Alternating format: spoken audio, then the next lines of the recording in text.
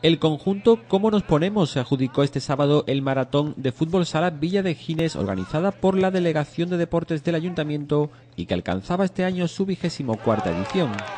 Ante una gran afluencia de público, el equipo ganador venció en la final al conjunto de Maccabi de Levantar, al imponerse en el partido decisivo por seis goles a dos. Los campeones adjudicaron 250 euros y trofeo, mientras que el equipo subcampeón, por su parte, se hizo con 150 euros y trofeo, Julio Galeano, de Cómo nos ponemos, fue el portero menos goleado, mientras que Álvaro Díaz, de Maccabi de Levantar, se hizo con el trofeo al máximo goleador.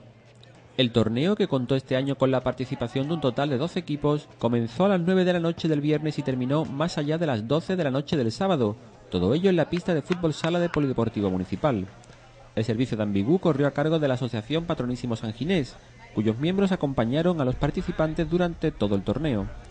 Después de cerca de 30 horas de campeonato, concluía la edición número 24 de la Maratón de Fútbol Sala, una de las competiciones con más arraigo y tradición en Gines.